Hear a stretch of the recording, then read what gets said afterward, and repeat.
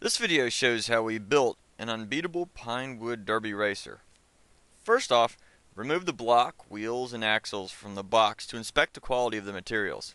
If anything looks cracked, bent, or broken, get another set immediately. Next, draw out your design on a piece of paper. Aerodynamics play a small part in speed, so try to make sure the, the front of your racer is sleek as possible. Looking at your block, you will notice the that the slots for the axles are in different locations. The rear axle should be the slot closest to the edge of the block. This will help with the weight location and center of gravity. At this point, take one of the axles and carefully hammer it into its slots to within a quarter inch of the block. Then using a set of pliers, carefully remove the axle and repeat on all sides. This will allow you to easily insert them later. When it comes to the wheels and axles, I purchased a set from a local hobby store that was already polished so, so to save on some of the work. But if you keep the stock axles, you will need to sand and polish away any rough edges on each axle. This lowers the friction it has with the wheels. Now transfer your design from the paper to the block of wood. Be careful when cutting because it is easy to break the block if you are removing large portions of wood. Now here's a tip. If you have access to a table saw and a bench grinder, this process can be much quicker. Once your block is cut, make sure to sand down all rough edges. Now it is time to add weight.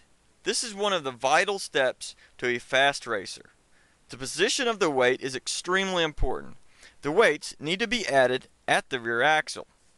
By keeping the weight at the rear, will allow gravity to continue to pull your racer at the bottom of the curved track.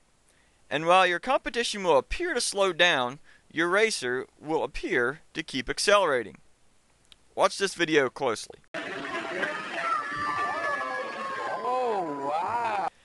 Now when adding weight, make sure to keep a majority of it just in front of the rear axle so your racer does not lift the front wheels on a small bump.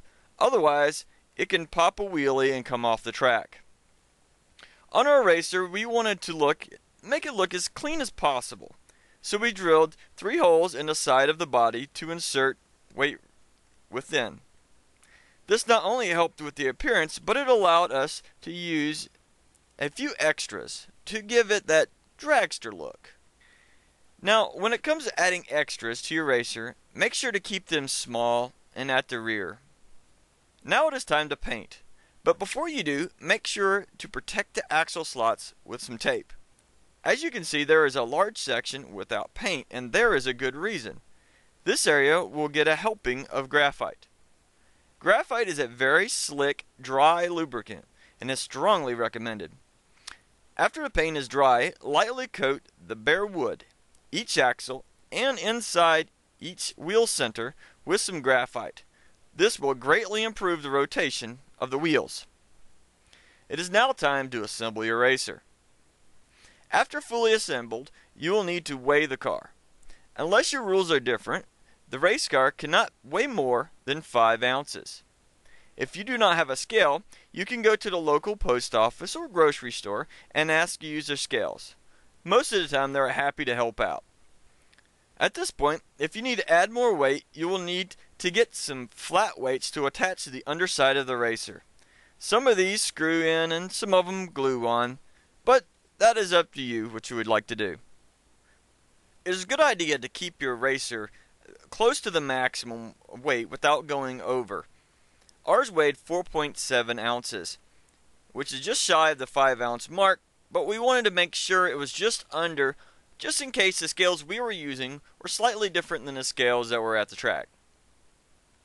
Now you are ready to dominate your race.